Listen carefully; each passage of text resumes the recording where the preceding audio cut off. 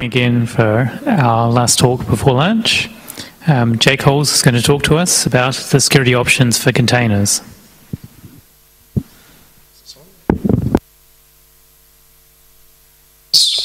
Oh, cool. Hi, I'm here to talk about security options for containers.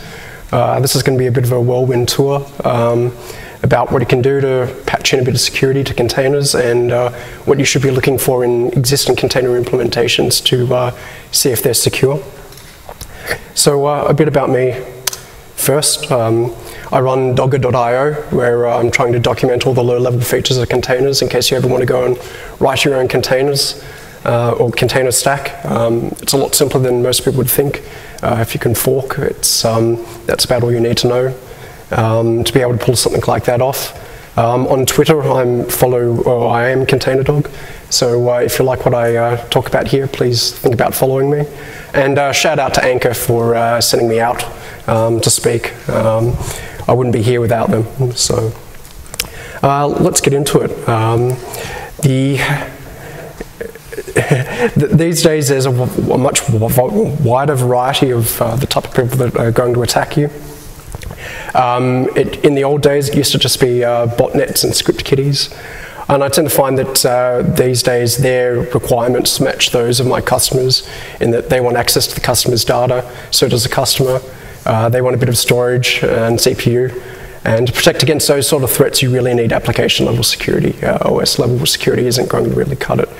But uh, the, these higher level um, attackers, the uh, organized crime, um, general uh, activists and uh, NSA level uh, or government threats, they've got a lot more um, skill, they've got a lot more time and effort they can use into attacking you, and they tend to want to move vertically. So they're, they're more than willing to attack a different customer on your hardware and then jump into a different, um, and use that to uh, attack other customers on your kit.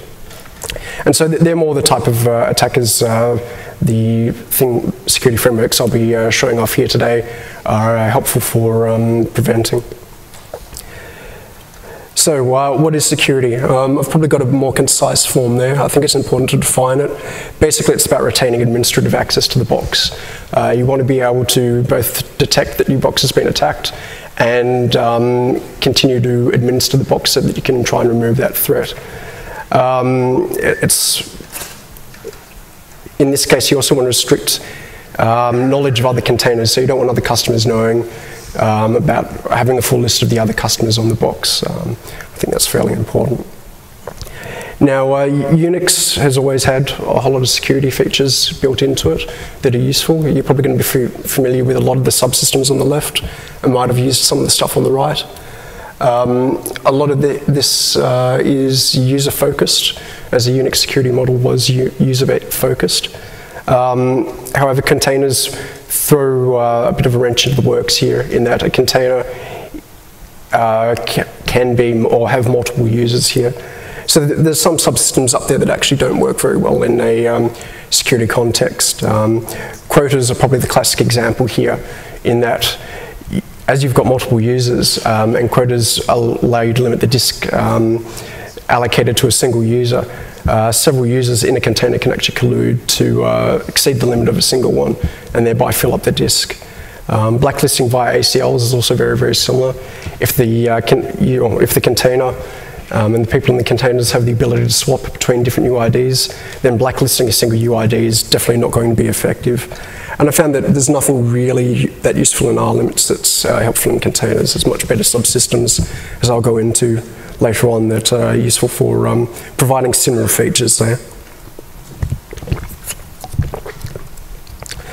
So capabilities. Um, these are what capabilities look like. This is actually a list of capabilities that are not very useful in a container context. Um, probably uh, one of you might be familiar with is cap node, which is the ability to create device nodes. Um, capabilities were basically a way to, an attempt to cut down root into smaller uh, bundles of authority that you could parcel out to both processes and files. Uh, and unfortunately, that backfired a bit. Uh, there's a capability known as cap sysadmin that's heavily overpowered and is almost a god capability. Um, but these are generally not, uh, these are capabilities you definitely don't want, or you most likely don't want in a container. Uh, Mac override, for example, would allow you to turn or override uh, mandatory access controls such as SE Linux or AppArmor, and you really don't want the ability to turn that off inside a container if you're using that to protect the container itself.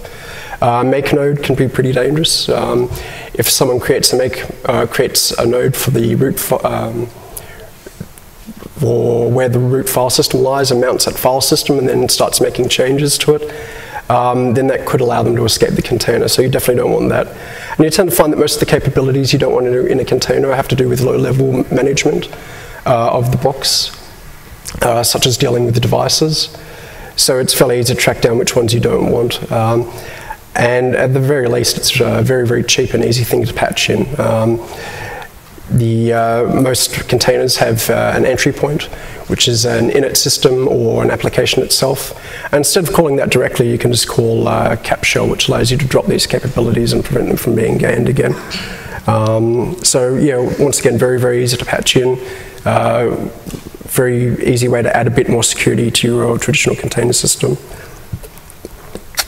Um, you might want to just be careful that um, set pcap does allow you to actually fiddle with uh, capabilities, so you definitely want to be dropping that one as well. Um, and if you're doing to, trying to drop capabilities by hand, um, make sure you drop that one last, as if you drop that first, you can no longer drop any other further capabilities, which caused me to tear my hair out for, hair out for a very, very long time. Um, C groups. Uh, th this is not traditionally a subsystem you'd think of as security. But uh, if you're trying to retain administrative control to a system, uh, this is of vital importance. Um, the ability to account for resource usage and track down what CPUs in your system is vitally important. But probably the most important one here is uh, tracking of processes. Um, I don't know if anyone's ever dealt with an Apache process where PHP process has decided to um, fork off a worker um, and it's no longer the, and that worker is uh, double forked and is now the parent of it is int rather than um, Apache. Um, if the workers, or if Apache is inside a, a C group, it's very, very easy to um, track down that errant uh, process as the process itself can never escape out of the C group unless you've explicitly reassigned it. Um, so using C groups to uh, bundle together a group of processes and track them collectively is of uh, vital importance there. Um, one of its other lesser known features is it can actually block um, device access or give much more fine grained access to devices, which if you need to grant access to a real physical hardware device dynamically, um, this is a great way to do it.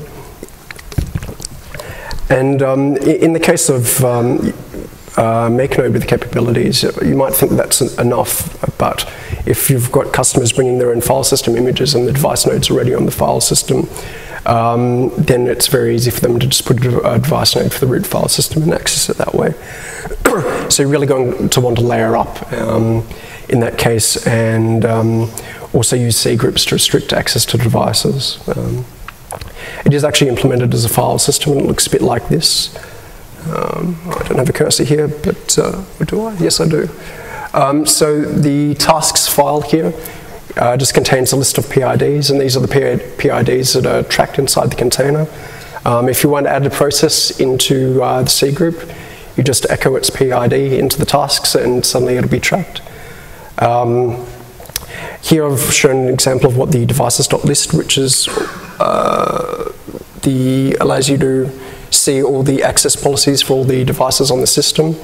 Um, the A there stands for um, whoops, all, device, all devices, but can be B for block or C for character. Um, and this just allows access to any major or any minor device. So as you can see here, I've granted uh, read, write, and make node um, for everything, for everyone, which as this is the root C group uh, is probably a good idea because I want my UDEV to be able to create my device nodes. But um, on other systems, you might find there's a lot more um, uh, other files in here, uh, such as uh, CPU counting ones to see how much CPU time has been used, or CPU share to actually limit um, how many uh, CPU slices per second a process can get, um, as well as some memory accounting ones, which are also very handy. For, sorry, very handy for tracking memory usage for the container as a whole. Um, this is patching this in to an existing container solution is a bit harder, but uh, nearly every container solution I've seen has C group support out of the box. Um, if you do have to patch something like this in, just where you've got your SBIN int, uh, you want to replace it with a wrapper script that just echoes into the, um, uh, the tasks folder. The only caveat there is that the cgroup file system might not actually be exposed to the container. So you might have to pause and somehow communicate out of band your PID and have that done, which complicates things. But as I said, most container implementations rely on this functionality anyway, so it shouldn't be something you have to patch in. Um, instead, you can just focus on the devices, limiting access um, to raw devices with the devices.list. Um, the next sub, well, the next two subsystems are the uh, Linux security modules, uh, AppArmor and SE Linux. I don't have, really have much to say um, about one versus the other. Uh, they're both great. You should be using uh, one or the other if you've got containers on your system. Um, which one you use is probably more dictated by your distribution choice and what actually works. Uh, if you can use SE Linux, I highly recommend it, as I'll get into in the next couple of slides. It brings a couple more things to the table. Um, however, uh, AppArmor is just as good, however, it's more focused on protecting uh, the host system from containers rather than protecting containers from each other. Um, the, if you have a moment and you're interested in these sort of sorts of attacks, you can actually launch from a container against the host system. I highly recommend going and grabbing the LXC source code and having a look at the AppArmor policy. Uh, it's quite easy to read, but it makes you realize just how much damage you can do with access to the sys file system. Um, echoing stuff into the right file in there can cause lots of damage to the host system. So um, yeah, let, us talk about SE Linux a bit. Um, SE Linux also, is also used to protect the, uh, the system from a malicious container, but it can also be used to uh, help prevent data leakage from one container um, into another container. Um, when most people think about uh, security, um, they start to think about uh, unclassified, secret, and confidential. That corresponds to the multi-level security. I actually haven't found or seen a use for this um, in day-to-day -day usage with um, SE Linux uh, for protecting systems, and I generally try to ignore it. Um, however, the multi-category security is very useful in the, in the context of containers. So uh, SE Linux in itself is probably about three separate uh, security frameworks. You've got your multi-level security. The other one is known as type enforcement, which is what's used to um, prevent the host system from being attacked by a container or um, one process attacking another. And this is where you tag some files in the file system as belonging to uh, Samba and others to Apache. And you say Apache, unless there's a rule to specifically allow Apache to talk to Samba, that access is blocked.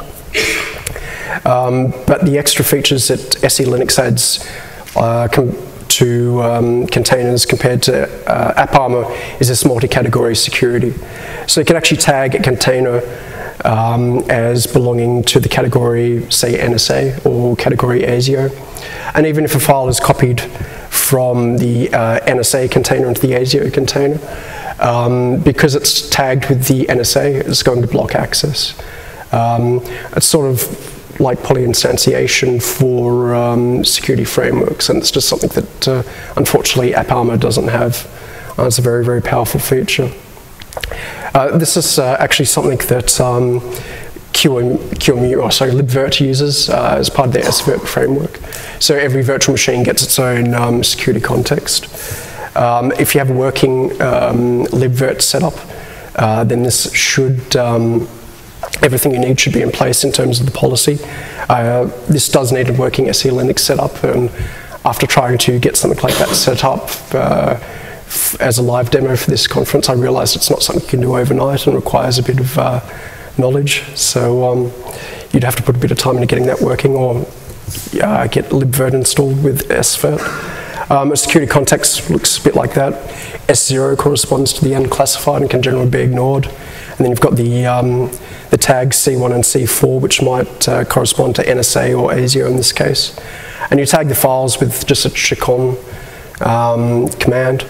Um, and then runcon is what you uh, use as your entry point. So you have runcon switched to the appropriate uh, security level and then invoke your um, uh, standard init system or entry point. So once again, relatively easy to patch in, um, but there's quite a bit of setup work to um, initially get that up and running. Um, finally, there's seccomp. Um, this is a great uh, framework that's sort of like a firewall for syscalls. Um, unfortunately, it's not something you can patch in after the fact. It really requires um, uh, container uh, support from your container framework. But there's a lot of uh, syscalls can generally be divided into two um, classes, uh, device and systems management and what I'd call user space. So user space would be open, read, write, create socket. Um, and the management, um, I've listed a couple of calls that I'd consider management there. Uh, adjusting the time for the clock, uh, setNS allows you to jump between namespaces, which is effectively a container. Um, you generally don't want that inside of a container if you're trying to prevent access or jumping around between containers. Um, swap on and swap off, that's really not the responsibility of the container, that's but the, um, the outer system that's running everything. So you generally want to disable that. But uh, seccomp has the um, nice feature in that it's ultra, ultra fine grain. You can actually filter on the arguments to the sys syscall itself. So in the case of a socket, you can make it so that it uh, only allows sockets of, um, of type IPv4 or IPv6 or Unix um, to be opened. Um, so you can actually grant much finer access to the to kernel resources um, than, say, the security frameworks presented on earlier pages. Um, it does. You do have to compile and load a, a policy. But, uh, and that's why you do need um, support from the container framework in that regard. Um, so yeah, as I said earlier, the only one there that you really can't patch in after the fact is seccomp. It does give you quite a bit of extra security. Um, there was a vulnerability, for example, uh, in Econet back in 2010, um, where if you created a socket of type Econet um, and then did the right things with it, uh, you could gain root. And seccomp would have allowed you to um, only allow create IPv4 or Unix sockets um, and protect against that. But the rest of these um, security features can be patched in with a tiny bit of work if you do want to secure an existing uh, framework, uh, sorry, existing container solution. Um, I highly recommend SE Linux, as I said before. Um, the more I've played with it, the more I like. Um, but if AppArmor is available, definitely go with it. If you're trying to assess the security of a container solution, um, they might, might bring in their own custom security stuff that uh, is all good and nice. However, you generally want them to support at least two, any two from that list. Um, just so that you know that they're using the extra features of the Linux kernel um, to help keep everything secure. Um, and these are all battle tested technologies. Um, if they're not using something like this, there's uh, avenues for attack that might not, uh, that can't necessarily be protected against from the, uh, the container framework. Um, so that's generally it. Uh, I did promise a whirlwind tour, and I hope it gives you a rough idea of what it can do to secure a container. Um, were there any questions? We've got a couple of minutes for questions, if anyone's got questions.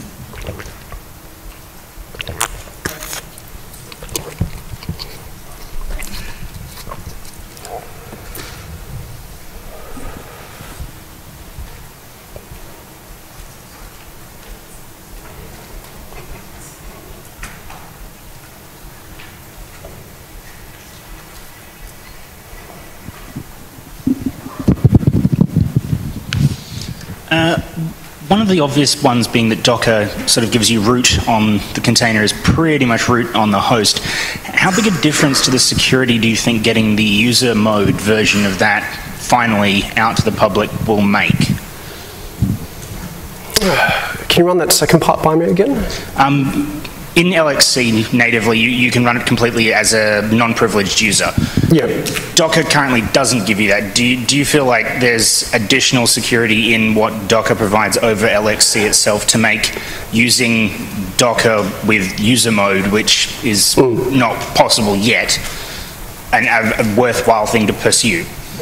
Um, as far as I'm aware, Docker's position has always been you don't have you don't ever make or run anything as root inside the Docker container. Um, I think that's rather valid for their use case. However, I think in LXC, for example, if you're trying to emulate it more like a full system rather than just protect a single application, you are going to have to um, hand out root. Um, the, there's no good answer here. Um, it's always going to be a bit of whack-a-mole.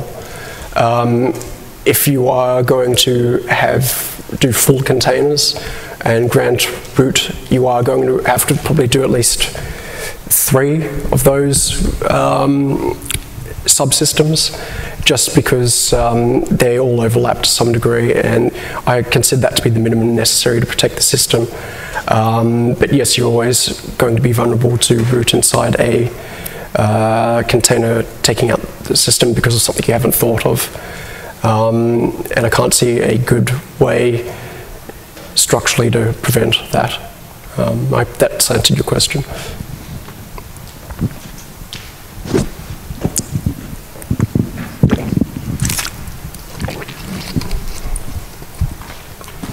Uh, so you mentioned the seccomp there. Uh, do you see any container implementations like Docker or uh, Rocket or any of them um, having support for seccomp or capsicum sandboxing in place at this point or in future? Um, possibly, and I hope so. Um, LXC, I would like to give a really, really big shout out to uh, because they've supported all of this from day one. Uh, they've basically done the security right. Um, and up until recently, Docker was nothing, as far as I'm aware, was nothing but a very, very thin wrapper around LXC with most of the security features turned off. Um, and they've now gone off and re-implemented libcontainers, which is great, except they've thrown all the security out and are going to have to re-implement it. Um, I would like to see them implement seccomp. I think there is a lot of benefit to it. Um, I mean, there's always going to be privilege escalation bugs, and if those privilege, privilege escalation bugs are not uh, namespace aware, they're going to get root inside the container. And you still want to try and protect against that, and that's where seccomp really comes into its own. There, it can help limit the attack surface um, to get root and pivot to other containers and that sort of thing. So I hope they do bring it in. Um, it's not particularly difficult, it's just I think they're going to have to find the time and uh, get it done. And it's kind of a shame that they abandoned LXC in that regard. Okay, please join me in thanking Jay for his talk.